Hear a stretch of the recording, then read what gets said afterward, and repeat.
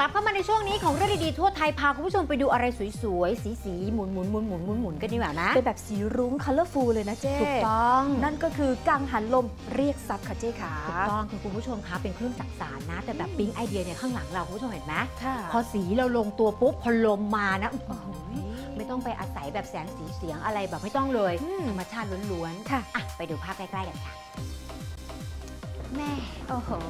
ชื่นชมคนออกแบบนะ ค่ะคือถ้าคุณผู้ชมเนี่ยใช้เส้นทางถนนทางหลวงหมายเลข 11 ช่วงหลักกิโลเมตรสักประมาณ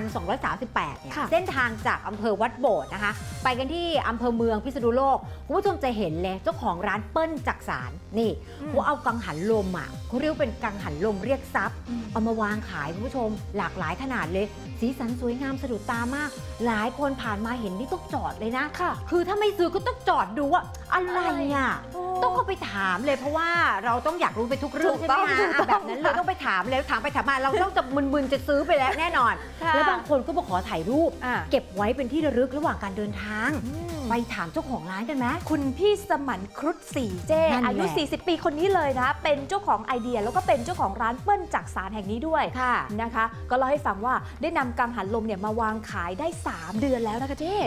เขาไปสั่งมาจากโรงงานพลาสติกที่จังหวัดแพร่อะค่ะ ค่ะ แล้วก็ให้ตัดมาเป็นแผ่นพลาสติกหลากหลายขนาดนะคะ แล้วก็ให้จัดส่งมาให้ที่เขาทยอยนำมาประกอบ โอ้โห เป็นสีสันแบบนี้นะ เป็นรูปร่างต่างๆ เห็นไหมคะ ค่ะ เอามาวางขายเลยนะคะที่หน้าร้าน โอ้มาดูราคากันหน่อยเจ๊ได้ได้ได้อันเล็กได้อันเล็กราคาเริ่มต้นอันละ 80 บาทเท่านั้นเองยอดถ้าเป็นขนาดกลาง 8 สีนะค่ะอันละ 150 บาทแต่ถ้าอันไหนเป็นแบบอันไหน size big อะใหญ่สุดอันละ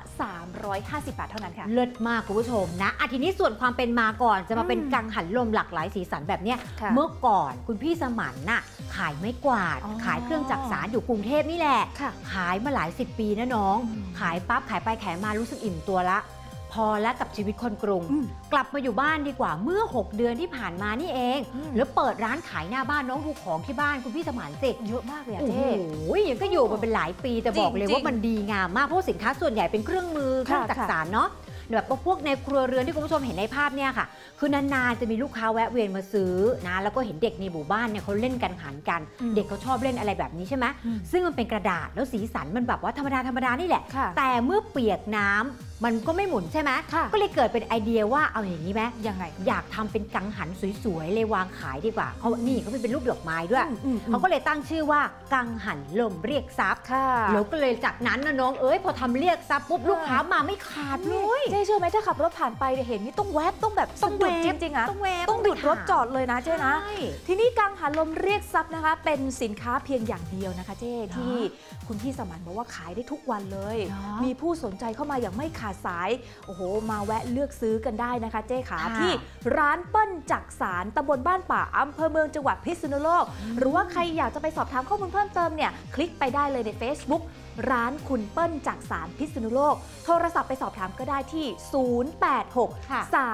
326 6439 ค่ะ แนะนำคุณผู้ชมค่ะเทศกาลคริสต์มาสที่กำลังจะมาถึง เราไม่ต้องไปซื้ออะไรแพงๆอีกต่อไป อุดหนุนภูมิปัญญาบ้านเรานี่แหละค่ะค่ะกวาดไปให้หมดทั้งแผงนี่เลยแล้วก็หมุนไปเลย เพราะว่าคุณผู้ชมเมื่อเช้านี้กรุงเทพ หนาวลมมาเกือบปิวนะ ไม่เกาะอะไรไว้ปิวเลยแล้นะวก็น้มันเริ่องมหนาวแล้วนะเจ๊ลนะมแรงลมหนาวมาแล้โอ้วยดีจังเลยจริงเอาไปหมุนหมุนๆไว้ที่หน้าบ้านได้ไหมๆได้หมดอ้เรียกทรัพย์เรียกทุกสิ่งทุกอย่างสร้จุดเด่นด้วยนะถูกต้อง ขอบคุณคุณผู้ชมที่ติดตาม TNN ช่อง 16 อย่าลืมกด subscribe และกดกระดิ่งกันนะคะ เรายังมีวิดีโอที่น่าสนใจอีกเพียบ และถ้าหากคุณผู้ชมไม่อยากพลาดการติดตามรับชมแบบสดๆ อย่าลืมติดตามผ่านทาง Facebook TNN Live หรือผ่านช่องทางอื่นๆได้อย่างสะดวกและง่ายดายมากๆ เพียงแค่กดลิงก์ใต้วิดีโอนี้ค่ะ